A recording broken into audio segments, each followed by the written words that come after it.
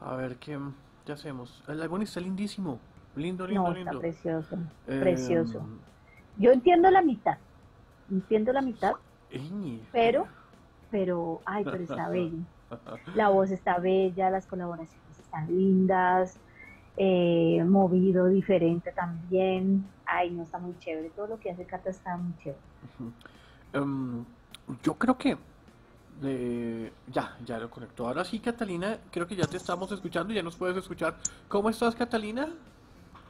Bien, bien, es que era un ajuste ahí del teléfono que no, no estaba visible, entonces no supe cómo era, pero No. ya lo descubrí. No te preocupes, no te preocupes.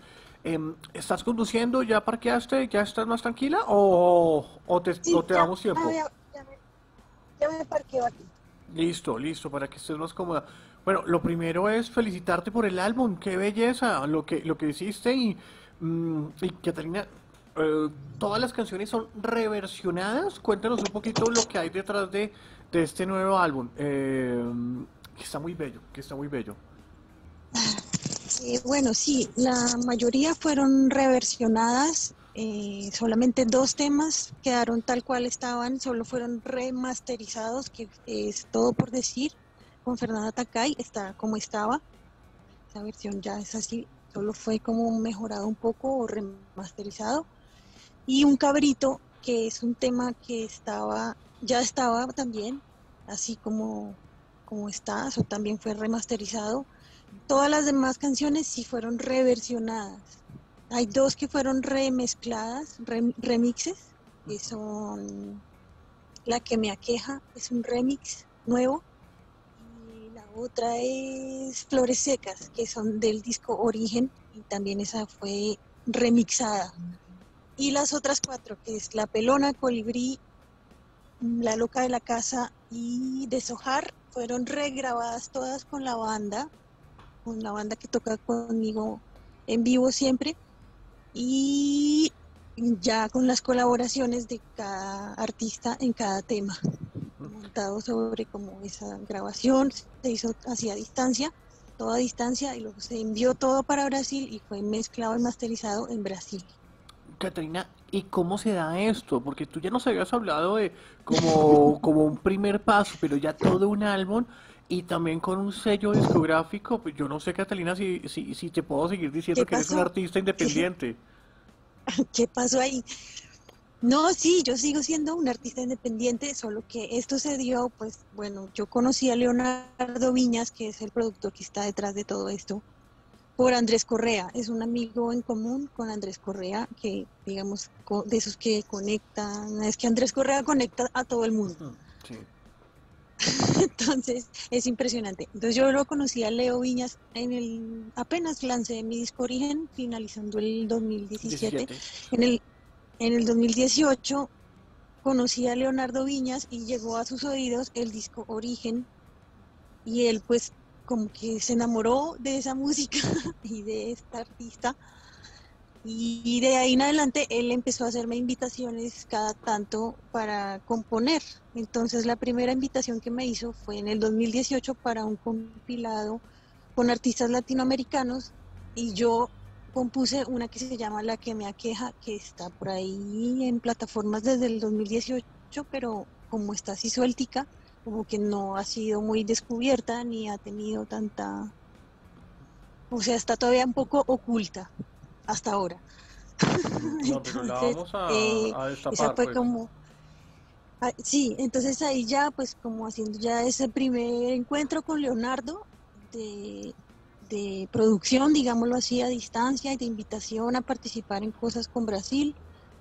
Y luego ya en el 2020, cuando entramos en pandemia, otra vez apareció Leonardo Viñas y me dijo, estoy haciendo otro compilado ya con artistas de varias partes del mundo a crear una canción en siete días que hable acerca de la pandemia y del encierro. Entonces en ese tiempo nació Todo por Decir, que inicialmente estaba yo so- solita, pero luego surgió la oportunidad de invitar a Fernanda Takay, que es tremendísima artista enorme del Brasil, y ella aceptó, y bueno, ahí ese tema, Todo por Decir, está hace ya más de un año por ahí rondando por plataformas y por ahí. Entonces fue como ya la, la segunda invitación de Leonardo a interactuar con cosas en Brasil y pues también abrió la puerta a crear mi segundo disco que todavía va a salir ahora en noviembre, o sea, esto no para aquí. de ahí empecé a crear el segundo disco y además pues mira, está también dentro de este inesperado disco Viciños que surgió a partir de que empezó a finales del 2020, Leonardo reapareció a decirme que quería hacer un compilado nuevo con mis canciones eh, traducidas partes, compartiendo con artistas de Brasil, o sea, me lo propuso compartiendo con diferentes artistas de Brasil y pasando algunas partes al portugués y ellos cantando en español y viceversa, o yo, yo en español y ellos en portugués y así, como una dinámica súper mm, compartida de, de, cosas. Y yo le dije que sí, eso fue a finales del 2020 y ahí empezamos a todo este año 2021 a trabajar en eso, a empezar a regrabarlas, con la banda, a las que se iban a hacer remixes, pues mandarle todo separado para que los que iban a hacer esos trabajos pues lo tuvieran. Y en eso nos hemos gastado todo este año y por eso digo que ha sido un disco inesperado porque yo estaba haciendo el mío, el segundo, y este apareció de repente y salió de primeras. Fue terminado todo de primeras y ahí está, ya, al aire. Y quedó precioso, Cata, te felicito porque ah, nos encantó eh, las canciones, por lo menos las dos que hemos escuchado, absolutamente divinas y tienen tu sello. Pero quiero preguntarte si, lógicamente, que la conexión con Brasil eh, es Leonardo, pero yo no sé si existía algo ya en tu trayectoria musical que te conectara tanto con ese país. Mm, pues yo tuve un grupo antes de ser solista, por decirlo así, eh, incluso trabajando en Atercio y en esa época tuve un grupo con unas amigas que se llamaba Cachaquiñas, pero ahí yo no cantaba, era toda la música instrumental, pero sí fue como un acercamiento a la música brasilera y, tocábamos un género que se llama choriños, que es como música clásica pero del Brasil, es como un poco jazz del Brasil, no sé, bueno, es algo así. Eh, muy erudito, pues, y muy importante para un músico conocer ese tipo de música, pues, porque son clásicos, que son importantes en la historia de la música del Brasil. Y resultamos nosotras tres, éramos Juliana Nubia en el clarinete, Juliana en la guitarra y yo en la percusión. Tuvimos ese grupo durante, no sé, bastantes años, como casi cinco años pero pues era más académico el asunto y pues, los eventos eran en entornos académicos, digamos. Pero mira que ahí ya eh, empecé yo a relacionarme con cosas del Brasil musicalmente. Y ya después ya toda la conexión ha sido por Leonardo, o sea, todo esto y esas, esas creaciones como las conté ha sido por Leonardo Viña. ¿Y, y vas a seguir explorando esos terrenos de, ese país tan inmenso que, me imagino que tiene tanta variedad musical. Pues yo creo que sí, o sea, yo creo que a partir de esto también, quién sabe qué más puede pasar, seguramente van a pasar muchas cosas, pues porque en realidad es así como lo muestra la portada, yo lo siento un poco así, que es como que estoy abriendo esa puerta y yo estoy ahí tratando, o alguien está tratando de entrar allá por, por musicalmente, es como asomarse a ver qué pasa, no tengo certeza de qué puede ser, pero siento que sí va a pasar algo. Y bueno, y sí, siempre he tenido amor y gusto por la música brasilera, sí. Desde que estaba en el colegio yo ya empezaba a oír cosas, cuando empecé a explorar la percusión también. Recuerdo que recién me gradué de la universidad, me fui de paseo a conocer San Paulo y Río de Janeiro y en ese viaje que era de paseo, compré un pandero, compré una cantidad de instrumentos que son de allá y empecé a explorarlos, a tocarlos sin, sin, sin estar metida en nada que me implicara eso, solo porque quise eh, conocerlo, no sé, y me pareció hermoso toda esa riqueza musical que hay allá. Bueno, y tú ya hablaste de la carátula, Catalina, porque muchas veces, no sé, del acetato pues era muy visible, luego al CD pues uno también la tenía en las manos, ahora que todo es digital pues todavía siguen siendo muy importantes porque cuando vas a, a tu canal en Spotify, yo no sé si decirle canal o tu espacio en Spotify, ahí está la carátula y tú la hiciste, cuéntanos un poco de, de eso porque, o sea, tú escribes, tocas todos los instrumentos, cantas, ¿también pintas? Sí, pues yo eso lo hago desde chiquita y de hecho casi todas las carátulas de mis sencillos y todas las he hecho yo. La pintura del disco origen la hice yo eh, desde pequeña. Sí, es que siempre he sido una niña como manitas creativas. Desde pequeña estaba haciendo cosas, pintando, poniéndome vestuarios, haciendo shows, cantando allí. Sí, en general siempre he sido como muy inquieta con varias cosas y me ha gustado pintar desde muy joven. Y pues ahí hago mis dibujos a veces y mis pinturas. entre esas pues está esa pintura para, para ese disco que en origen todo el arte de ese disco en físico también lo hice yo, aunque no estaba pensado así en ese momento, sino que las circunstancias llevaron a que eso fuera así y creo que fue chévere también porque es como encerrado todo el pues el producto, por decirlo así, como totalmente propio hasta el papel. Entonces, pues que en, en, un punto es bonito y chévere, de pronto más adelante se dan otras cosas, no sé, pues por ahora es así. Ah, Yo Ahí feliz en la aparece la loca de la casa, ¿será? de pronto, será, no sé quién, quién puede ser esa mujer ahí. Estamos pensándolo, pensándolo, pero no damos. Claro, claro porque... Eh, eh, Puede ser, sí, la loca en la casa se está sumando. Como artista tú dices, bueno, ya se plasma ahí lo que yo quiero decir, y ahí es simplemente verlo y reconocerlo. Pero entonces, ¿cómo lo describirías? Porque yo creo que es muy simbólico lo de esa puerta que se abre con, con, con el escudo de eh, la bandera de Brasil, eh, puede ser como dice Paula, la loca de la casa metiéndose allí. Eh, cuéntanos un poquito como lo de los colores, lo que está pasando allí, como esa descripción, ¿cómo, ¿cómo contarías tú la carátula para que los oyentes lleguen y, y ingresen y vean este álbum? Está, además que lo escuchan, que está muy bello, se llama Viciños y por lo menos en Spotify está, en YouTube también está completico, ¿no? Sí, Viciños quiere decir vecinos. Y ahí está la puerta, uno toca, abre y ahí está. Pues bueno, yo es, es una mujer, ¿no? ¿no? No es específicamente alguien, puede ser una colombiana que se está metiendo a Brasil, también puede ser la patria colombiana, como quieras interpretarlo. Y al fondo está, pues hay como unas banderitas de Colombia que están al fondo y como las, un poco las plantitas y, hay como un flamingo de allá, de, algunas zonas de la naturaleza colombiana, digamos, aunque en Brasil también hay full naturaleza de toda clase, pero pues es esa Colombia que se asoma, se está asomando la cabecita en Brasil.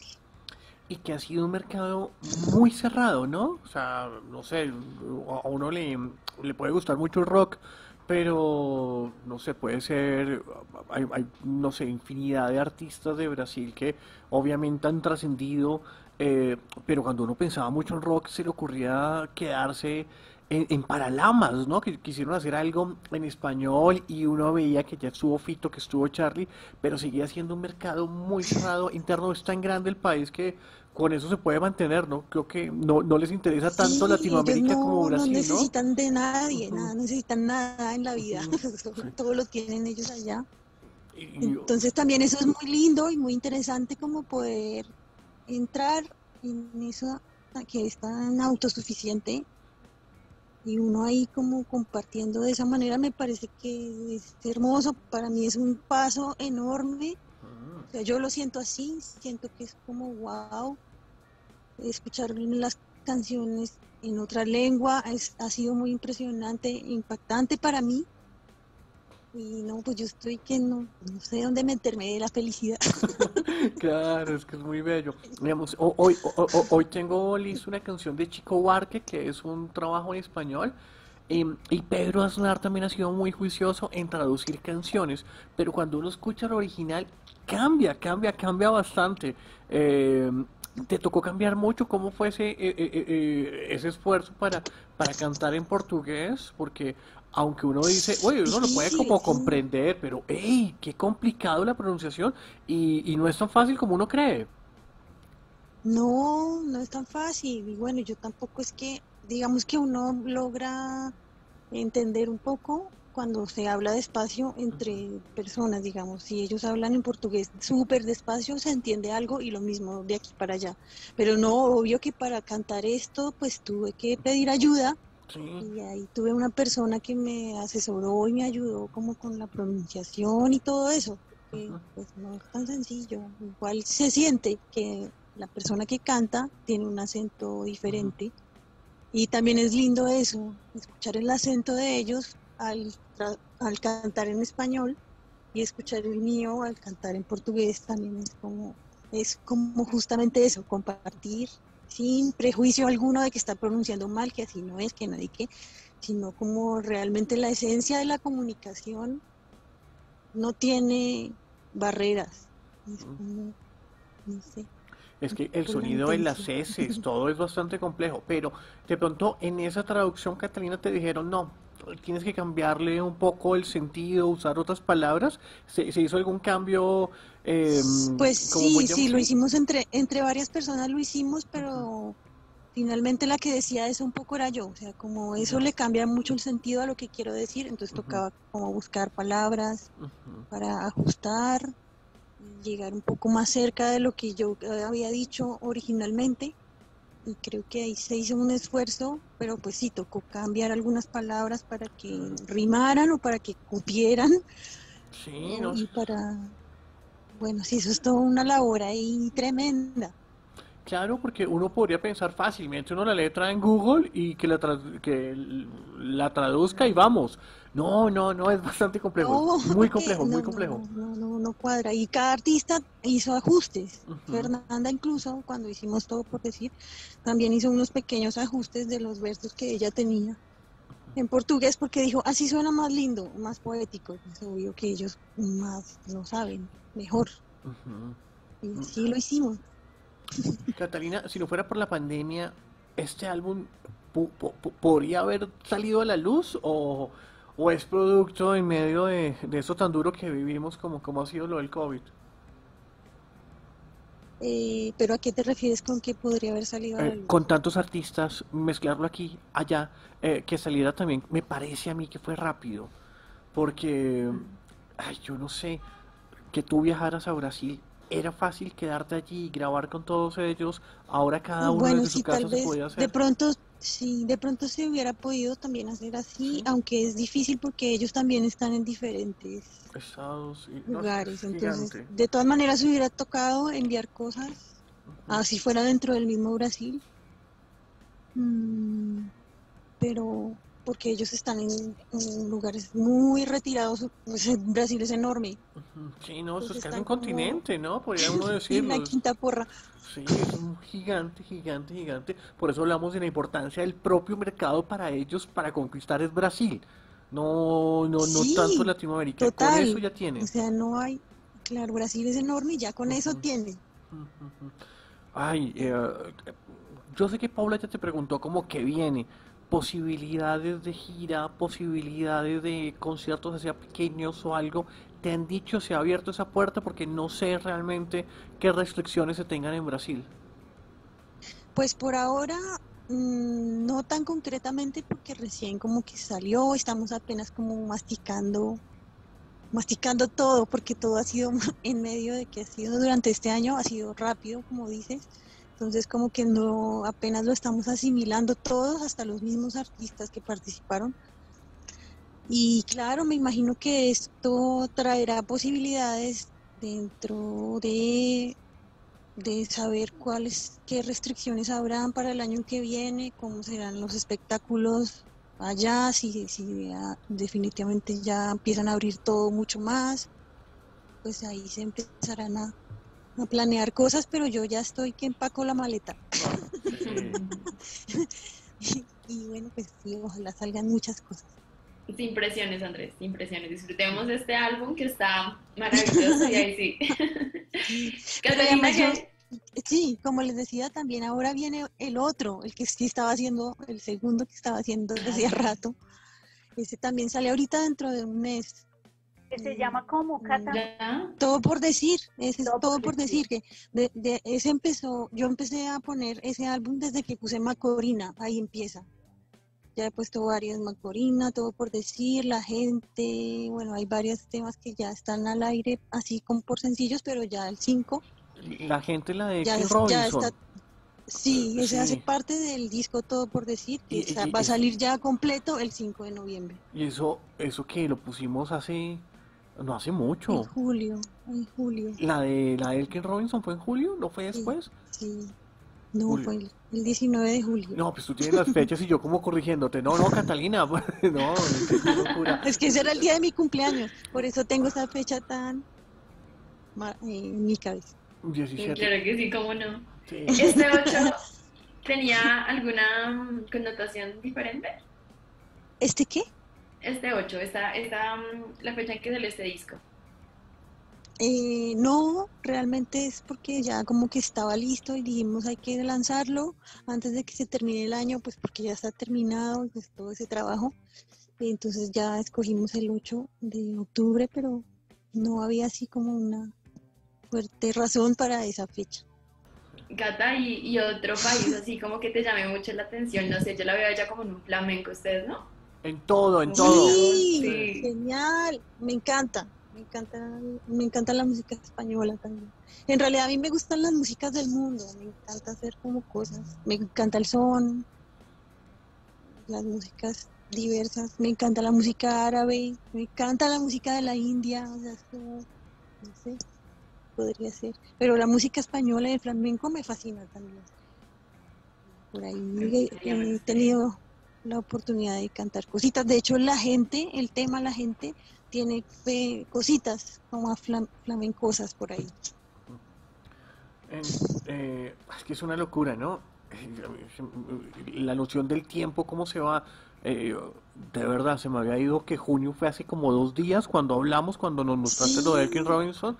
Eh, y yo sé que voy a decir cosas muy tontas, pero es que estamos en octubre, es decir, de lanzamientos, ¿hasta dónde van? Hasta noviembre, porque ya en diciembre se baja la reja para la música de diciembre, ¿no? lo que es fiesta, rumba y resúmenes. O sea que... Sí, total. Por eso sí, también por eso quise como ahí en noviembre ya ponerlo, que si ya es el final del año, mucha gente dice, no, no lances en noviembre porque ya no te ponen atención pero, ya está, hagámoslo. Pero ya sí, ya, o sea, ya, ya ese disco ya llevaba como dos años eh, haciéndolo, o sea, ya estaba demasiado para dejarlo otro, hasta el otro año no. No, ya, ya, ya. En medio de la pandemia estrenamos un álbum de, de, Andrés Correa y luego me mandó otra canción nueva, la de música alemana, la, se, me, se me va el nombre y, me, y yo le dije, oiga, pero ¿por qué esta locura? Y me dice, nada, los álbumes también se añejan, hermano. Uno está haciendo más cosas, más cosas, y uno no puede esperar únicamente como los caprichos del mercado que a veces ni siquiera le ponen atención a uno y tiene que salir cosas, tiene que salir.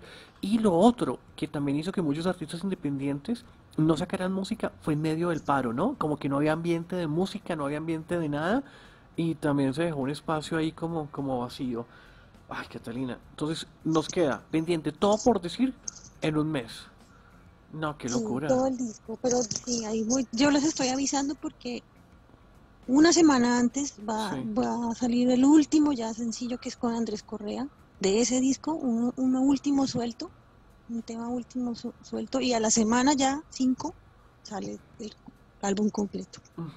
¿Y puedes decirnos el nombre de la canción? Acabamos, también, Andrés tiene una canción muy hermosa que hizo reversión y tú hiciste la batería, ¿no? Sí, pues hice la batería en el video. Ah, en el video, en el video, en el video. Bien lindo ese video, quedó muy lindo. ¿Puedes decirnos el nombre de la nueva o toca esperar? Sí, no, es, un, es un bolero además, mejor dicho, un bolero extraño ahí. Se llama Comiendo de tu mano. Comiendo de tu mano. qué locura, ¿no? Ah, qué bello, qué bello. No, no, Cata. Entonces, hasta dentro de muy poco volvemos a hablar para escucharte con Andrés y, y también para y luego ahí mismo, eh, dentro de, de, ahí mismo me seguido para el mismo, todo el año, de todo el disco. hay... otro tema por ahí con las añes. Mejor dicho, ese álbum también está... Y con las años ahí que, con Andrés haces un bolero y con las años que haces, esa nueva canción con los Rolling Ruanas y las años es una belleza. Bueno, todo lo que hacen las años es lindo, ¿no?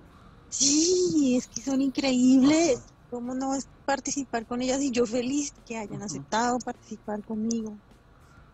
No, no, no, no, Cata. Entonces tenemos excusa para escuchar lo de Andrés y, y, y, todo el álbum. Yo creo que eh, vamos a hacer algo ahí como para que mm, algo un poco más musical. Es que en estas transmisiones a veces no podemos poner la música. Yo creo que vamos a hacer algo distinto para poder escuchar ahí como una mezcla de, de los dos álbumes y, y algo distinto contigo. Además que ya hemos hablado varias veces y yo creo que lo más rico es escuchar tu música, ¿no? Sí, pues yo feliz, yo muy agradecida y feliz. Tenemos todo el disco. ¿Qué canción quieres compartir? Ya hemos puesto, a ver, ya te digo que pusimos. Viciños, hablo el álbum, escuchamos Colibrí, La Loca de la Casa. Nos queda todo por escuchar, lo que tú quieras. Eh, todo por decir, puede ser como, como esa canción potente con la que se abre. Eh, tú también quieres escuchar La que me aqueja. No sé, ¿cuál, ¿Cuál quieres compartir ahora con, los oyentes? Mm, la que me aqueja, que es un remix. que casi esa, esa, la original no es muy conocida, entonces. Mm. Esa está chévere. Entonces vamos a escucharla, Catalina, como siempre, gracias por sacar tiempo para estar con nosotros y sobre todo para crear tanto, que qué maravilloso es poder encontrar tu nombre constantemente entre los lanzamientos y siempre sorprenderse con la música que tú haces. Ay, gracias. Yo muy contenta, como te digo, agradecida de, del espacio y de la atención y todo, y pues siempre he sido, eh, me he sentido de la casa, la U. ¿Cómo? Pero es que eres de la casa, casa. Se, siente el amor, o sea, eso es lo que quiero decir. Entonces, mm. yo estoy muy feliz algo que no dije yo, porque siempre la presentamos como, como igual, pues eh, Catalina, además de haber estado con Atercipelados, estuvo en nuestro concierto de los 10 años, estuvo en el concierto de los 20 años. Eh, o sea, es una artista que, que, ay, que, que, es una maravilla ver todo, cómo, cómo, cómo ha evolucionado, todos los cambios, cómo crece. Esto es muy bello poderlo vivir aquí con, contigo. Entonces, nada, Catalina, de verdad que te, que te adoramos, te admiramos muchísimo y, vamos a escuchar esa canción. La que me aqueja, que está un poquito perdida, no, no va a quedar más perdida. Acá está Catalina Ávila. Gracias por acompañarnos. Bueno, no, gracias a ustedes y yo se les quiere bastante.